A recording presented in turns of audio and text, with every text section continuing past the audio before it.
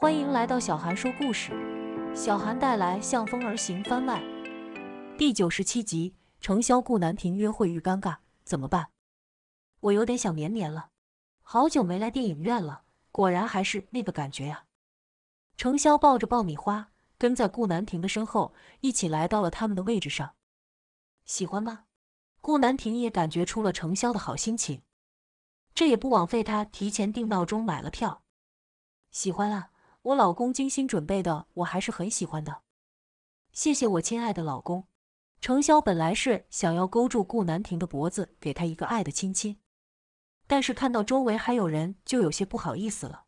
顾南亭等待程潇后续的动作，不过没等到，他看了看程潇，瞬间就明白了，自家老婆这是害羞了呢。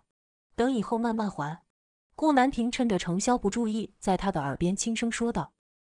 换来了程潇对着他胸膛的一阵小捶捶，顾南亭没有阻止他的动作，但是脸上浮现出了笑容，能够成功转移程潇的注意力就好。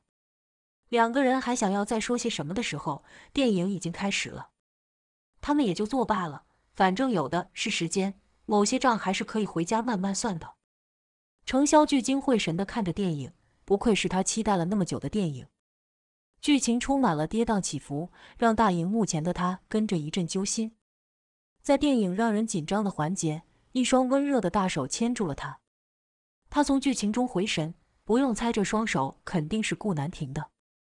他紧紧的回握住顾南亭的手，抬头正好与他对视。两人没说话，都默契的将视线转向大荧幕。电影结束了，程潇有些意犹未尽的和顾南亭走出了电影院。我没想到结局是这样，其中的一些反转是我没想到的。程潇跟顾南亭讨论着剧情，说着他的想法。路过大厅的时候，他随意的看了一眼墙上的钟表，啊，已经快六点了呀！我们已经出来两个多小时了。程潇放松的心情突然有了一些惊慌。绵绵应该已经睡醒了吧？他会不会闹腾啊？对绵绵的担心再次席卷了程潇。放轻松。如果绵绵有什么问题，妈肯定早就给我们打电话了，而不是放任我们在外边玩了。顾南亭安抚着程潇，他知道程潇会担心，要不我们给妈打个视频吧？不看到绵绵，我多少是不放心的。程潇跟顾南亭提议，顾南亭明白，如果不让程潇亲眼看到，他大概是不会放心的。于是他让程潇拿出了手机，准备给程妈妈打了视频。没想到程潇还没来得及拨出去，就看到了顾妈妈打过来的视频。他有些疑惑的看向顾南亭，顾南亭示意他接。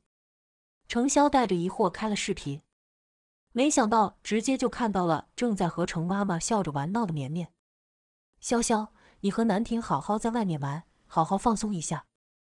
绵绵交给我们这几个老的就行了。顾妈妈的声音从手机里传了过来。好，谢谢妈。程潇看到了绵绵的状态，整个人都好了一些。担心虽然也有，可已经消散了很多了。现在放心了。程潇重重地点了点头，放心了。妈把绵绵照顾得很好。那我们去吃你想吃的好吃的。顾南亭再次询问程潇的意见。好呀，终于能吃到我心心念念的东西了。程潇拉着顾南亭的手，两人直奔停车场。